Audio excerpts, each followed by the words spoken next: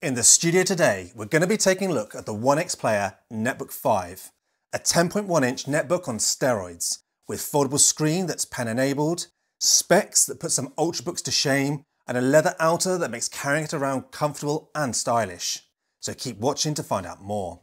Now 1X Player makes some incredibly innovative products, such as a tiny eGPU, mini PCs and handhelds, so when they offered to send us over their new Netbook 5 we gratefully accepted. Though don't worry, although this netbook has been sent in for review, 1xPlayer are not paying for this review and they're not asking for copy of approval, so these thoughts are my own. So then, let's take a look at this tiny little device. And getting it out of the box, I just couldn't believe how small this thing is. It really reminds me of my first Eee PC netbook from the mid-noughties. But unlike those old netbooks, this thing is absolutely jacked. Now despite having a 10.1 inch screen, we've got an Intel i7 1250U processor in here, along with 32GB of LPDDR5 RAM and a 1TB of fast Gen 4 SSD. This comes in at just over $1,000. Now picking it up, it feels like a dense hardback book and it weighs in at a mere 970 grams. Now we do have an outer leather cover on both sides which makes it feel luxurious and it's comfortable to hold. Now opening this netbook, it looks like a normal clamshell laptop. Now the deck is aluminium and it feels really solid. The actual trackpad itself it is really tiny, but it clicks and it feels really responsive. It's like a haptic trackpad because you can click anywhere on here. It's really quite impressive for something so small. Now the actual keyboard itself, being a 10.1 inch size, it is a little bit sort of shrunken down, but the keys were great to type on. They're also backlit. And the only issue I did find with it are the actual very small number and command keys and the small arrows, but you do soon get used to them. Now as well as the standard clamshell mode, this netbook has a handy feature. The screen can come forward just like the Surface Studio laptop. We have an angled position, which is great for media consumption. Then we also have this sort of flat position, though it does still have a very slight incline, which makes it great for taking notes or doing a little bit of drawing on here. Magnets hold the screen in each of the modes, so it does feel incredibly sturdy. Now moving up to this display, and we get a stunning 10.1 inch 2560 by 1600 400 nit touchscreen display.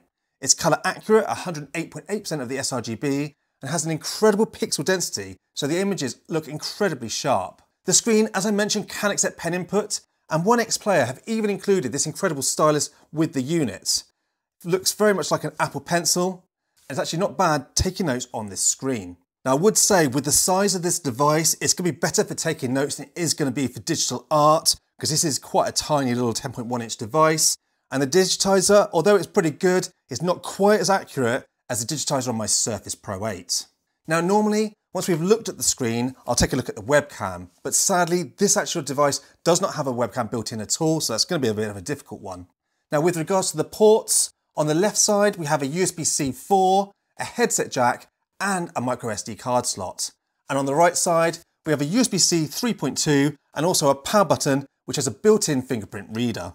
Now, whilst we're looking at the sides of this device, at the rear we've got exhaust vents on both the left and the right hand side of the device, and at the front right and front left, we've got the speaker grills for the Harman speaker systems, and they sound like this.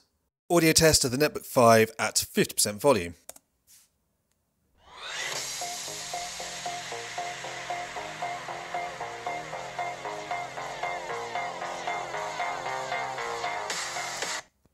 And 80%.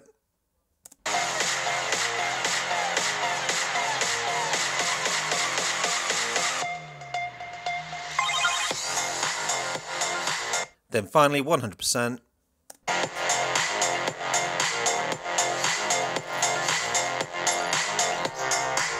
For such a tiny little machine, these are really quite impressive. Now obviously they could always do with a bit more bass. There's a little bit of distortion, but I mean realistically for a 10.1 inch laptop, I'm impressed. Now with regards to the performance, don't expect this tiny 10.1 inch netbook to be a AAA gaming monster. This laptop's gonna be great for office work, Photoshop, media consumption. These are all brilliant on this tiny little device. The Core i7 1250U seems to be able to hold 10 watts on a long-term boost in this tiny chassis.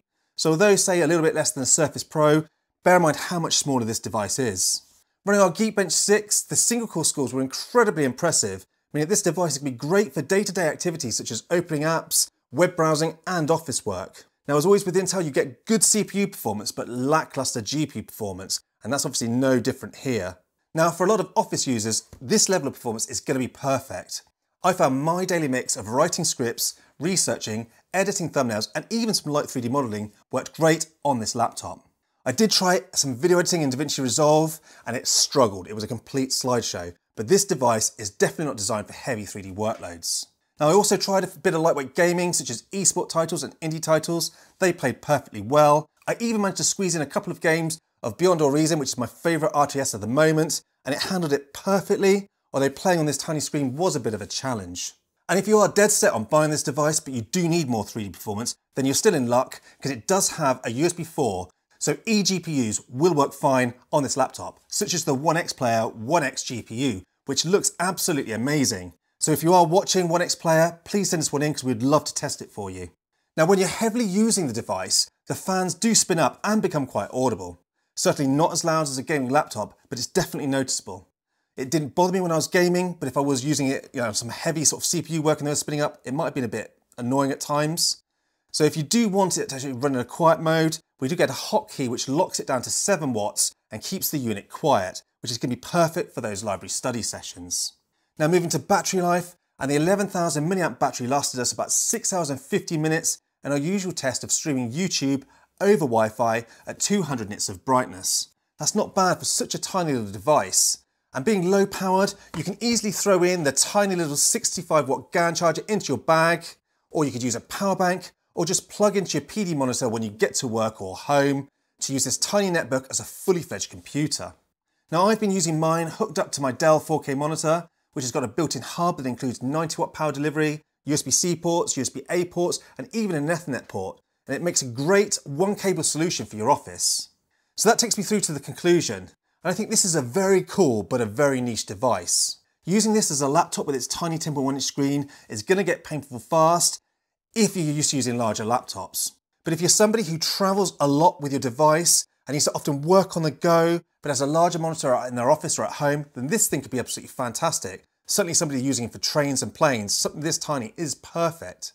And for me, I'm often on customers' sites and need a small, rugged laptop to complete maintenance. So personally, I want the smallest device I possibly can, and this thing is perfect for that. And when I get home, I plug into my Dell monitor and have a fully fledged setup so I don't care how big the actual device screen is. So there we go, those are my thoughts on the Netbook 5 tiny weeny little netbook on steroids. I am really, really pleased with this device and I think, you know, it is a niche product, but it's a lot of fun.